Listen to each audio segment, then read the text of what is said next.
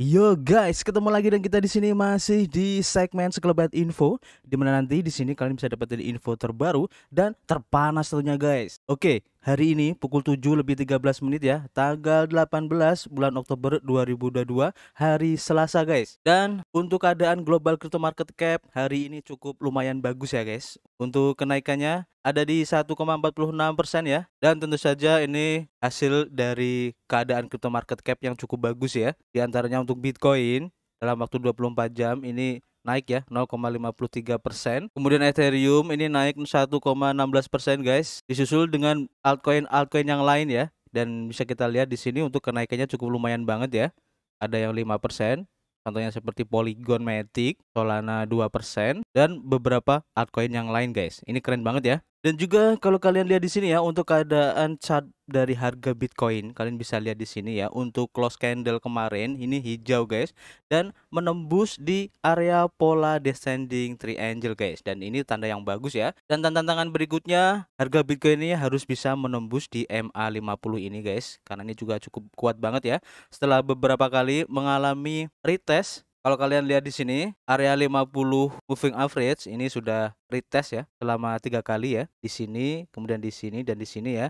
Dan kita doakan aja semoga untuk close candle yang sekarang positif ini akan membuat tekanan harga beli dari Bitcoin ini semakin bagus guys. Dan kita juga berharap ya semoga keadaan makro untuk ekonomi ini akan lebih baik lagi sehingga akan membuat stimulus yang bagus ya khususnya untuk pergerakan dari harga Bitcoin ke depannya. Oh ya guys, sebelum kita mulai untuk informasi pertama ya. Jadi mungkin teman-teman ada yang bertanya karena sering ya di beberapa komen yang menanyakan kenapa kita lebih banyak untuk membaca informasinya dan sedikit untuk memberikan tambahan informasi. Itu tujuannya karena kami tidak mau ya nanti terjadi misinformasi dari apa yang kami sampaikan. Karena apa pun yang kami sampaikan dalam informasi itu harus bisa dipertanggungjawabkan, guys. Makanya sebelum saya membaca informasinya, kami selalu menyebutkan alamat ataupun artikel dari mana supaya nanti kalian itu bisa cross check guys. Jadi apa pun nanti yang kami sampaikan dalam informasi di sekelebat info ini bisa dipertanggungjawabkan. Jadi semoga itu bisa menjawab ya kenapa saya lebih banyak untuk membaca artikelnya daripada memberikan informasi secara langsung guys. Oke? Okay?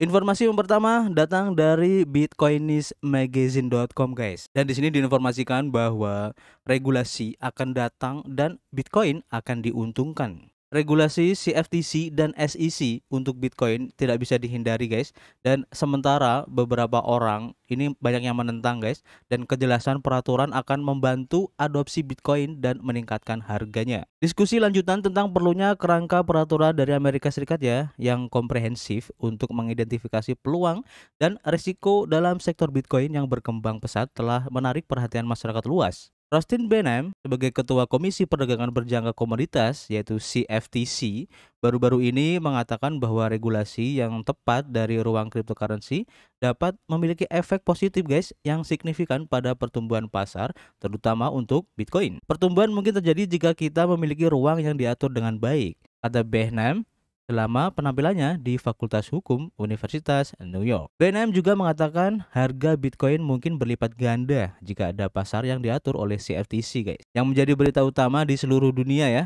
Komentarnya tidak mengejutkan mengingat dia telah menekankan perlunya kejelasan peraturan di pasar Bitcoin beberapa kali sebelumnya. CFTC dan SEC harus bekerja sama. Jadi awal tahun ini guys, perwakilan dari Komite Pertanian Senat yang mengawasi CFTC mengusulkan rancangan undang-undang baru yang akan menjadikan CFTC sebagai regulator utama industri aset digital dan memperkuat kontrolnya atas dasar spot cryptocurrency. Rancangan undang-undang itu juga akan mengharuskan perusahaan perdagangan untuk mendaftar ke CFTC. Behnem menyuarakan dukungannya untuk rancangan undang-undang bipartisan yang juga akan memungkinkan CFTC untuk membebankan biaya pada badan pengatur dan memperkuat kekuatan keuangannya. BNM menambahkan bahwa anggaran keuangannya yang sederhana dan hambatan lainnya juga telah mencegah agensi melakukan perlawanan yang tepat terhadap kejahatan yang melibatkan Bitcoin dan aset digital lainnya. Karena CFTC tidak memiliki yurisdiksi, agensi tersebut tidak memiliki kelayanan pengawasan tradisional dan solusi pengawasan pasar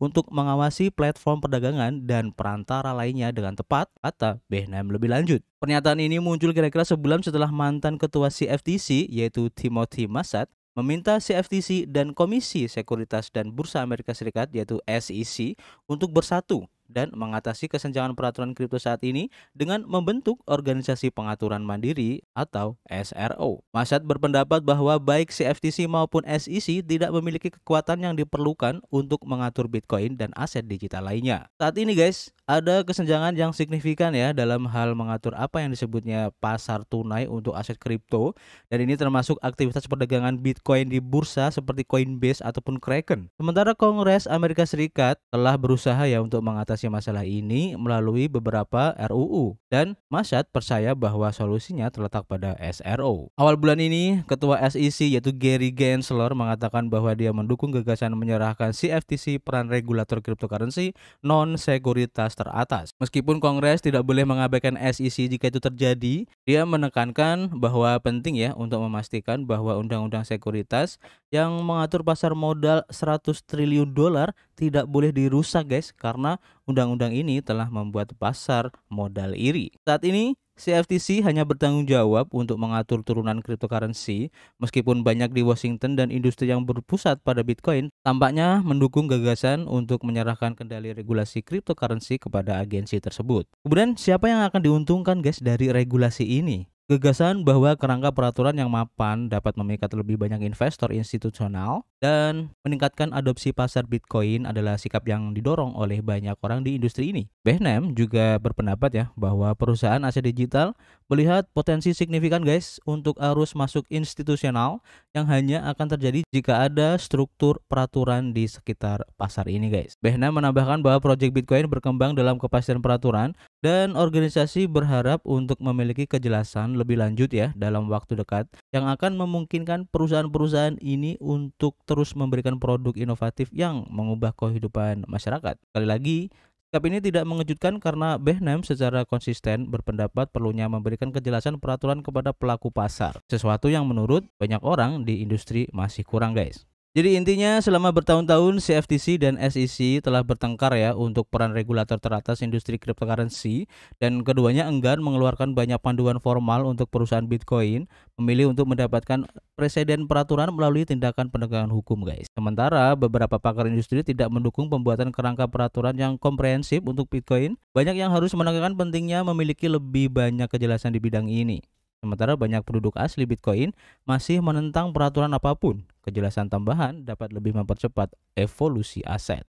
Informasi berikutnya datang dari cointelegraph.com guys dan di sini diinformasikan bahwa industri kripto melawan regulator di pengadilan. Jadi Grayscale dan Ripple ini melawan SEC guys dan ini adalah musim yang lagi panas ya di pengadilan Amerika Serikat dalam bidang kripto ini guys. Manajer aset digital Grayscale telah mengajukan pembukaannya terhadap Komisi Pertukaran Sekuritas Amerika Serikat untuk menentang keputusannya yang menolak aplikasi Grayscale untuk mengubah Grayscale Bitcoin Trust atau GBTC menjadi dana yang diperdagangkan di bursa Bitcoin atau ETF spot. Menurut Grayscale, SEC harus menyerahkan laporannya paling lambat 9 November sebuah kelompok advokasi kebijakan kripto yang berbasis di Amerika Serikat, Coin Center telah menindaklanjuti dengan niatnya untuk membawa kantor pengawasan aset luar negeri Departemen Keuangan atau OFAC ke pengadilan atas sanksi mixer cryptocurrency Tornado Cash. Pengacara untuk Coin Center serta investor kripto David Hoffman, seorang advokat hak asasi manusia anonim yang hanya dikenal sebagai John Doe, dan pengembang peringkat lunak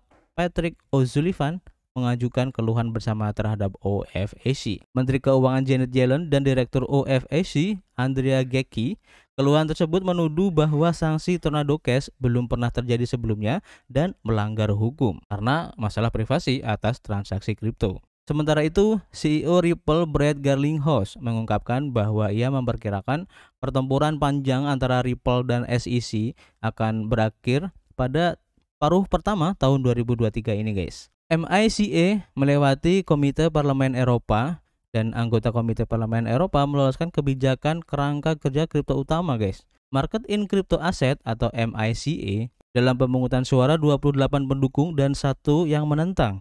Dengan pemungutan suara terakhir diharapkan dalam sesi penuh Parlemen Eropa segera. Setelah pemungutan suara MICA, anggota parlemen Uni Eropa juga sangat menyetujui ya kesepakatan sementara tentang peraturan transfer dana, undang-undang yang bertujuan untuk memiliki standar kepatuhan untuk aset kripto dalam upaya untuk menindak pencucian uang. Dua kerangka peraturan jika diberikan persetujuan akhir akan berlaku ya untuk negara-negara anggota dengan Uni Eropa, tetapi berpotensi menjadi contoh bagi anggota parlemen global tentang kripto. Mengikuti semua prosedur dan pemeriksaan kebijakan kripto dapat mulai berlaku mulai tahun 2024. Organisasi untuk Kerjasama Ekonomi dan Pembangunan atau OECD telah menerbitkan kerangka kerja yang bertujuan membantu otoritas pajak mencapai visibilitas yang lebih besar pada transaksi kripto dan pengguna di belakangnya. Kerangka pajak kripto mengusulkan pertukaran informasi secara otomatis tentang transaksi kripto antar yurisdiksi setiap tahun, mengingat peningkatan jumlah pertukaran yang tidak diatur dan penyedia dompet. Jika disetujui, Kerangka kerja tersebut memungkinkan akan memfasilitasi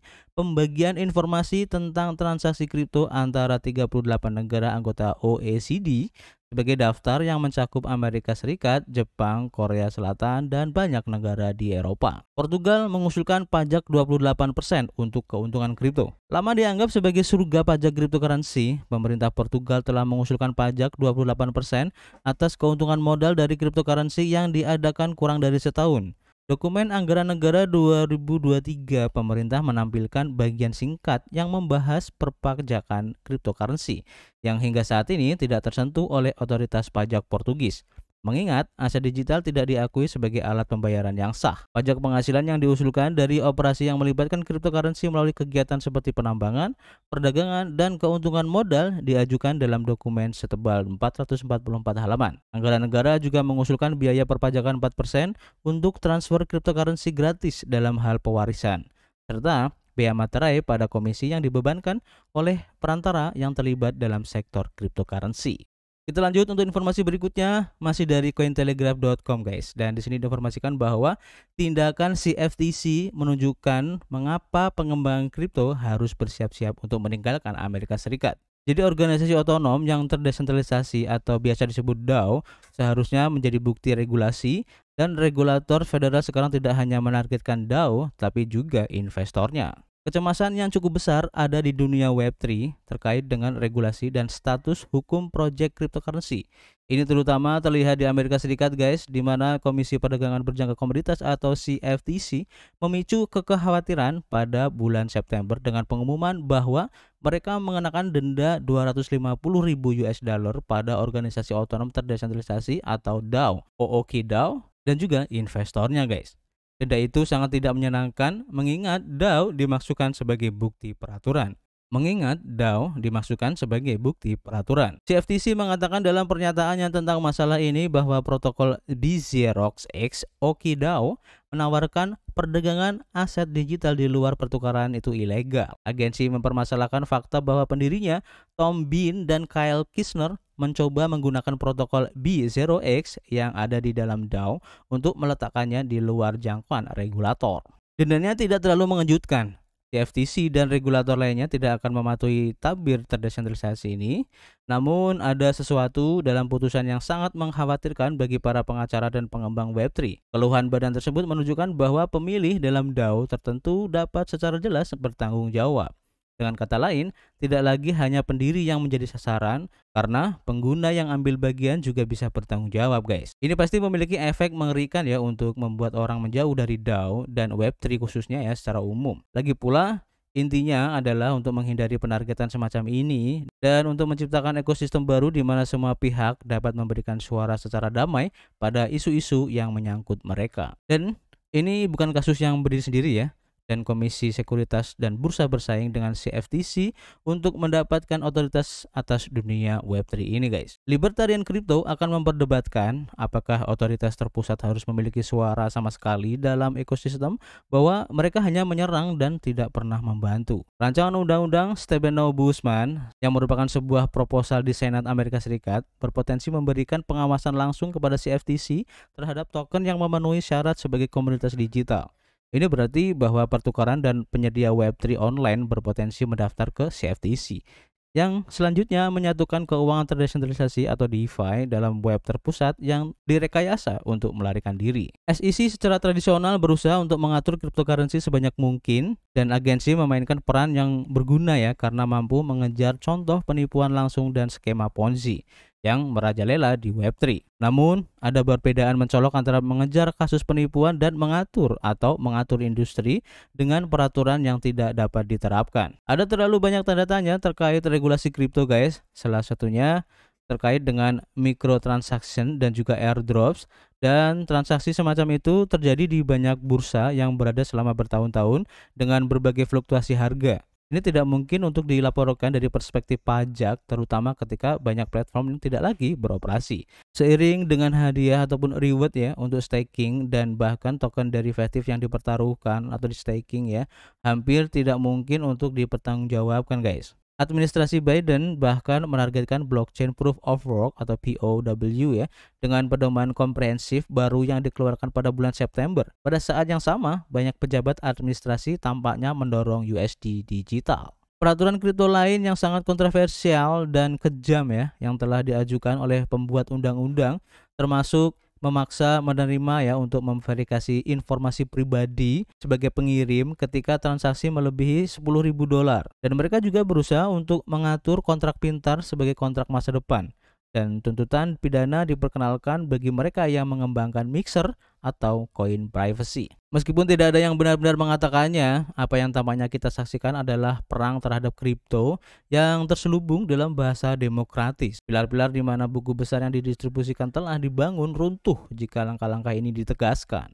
Konflik antara regulator tradisional dan keuangan modern tampaknya mencapai titik lelah. Peraturan tidak beradaptasi untuk memenuhi kebutuhan dan kekuatan DeFi modern dengan demikian, sekarang ada kebuntuan antara protokol Web3 baru dan undang-undang yang ada.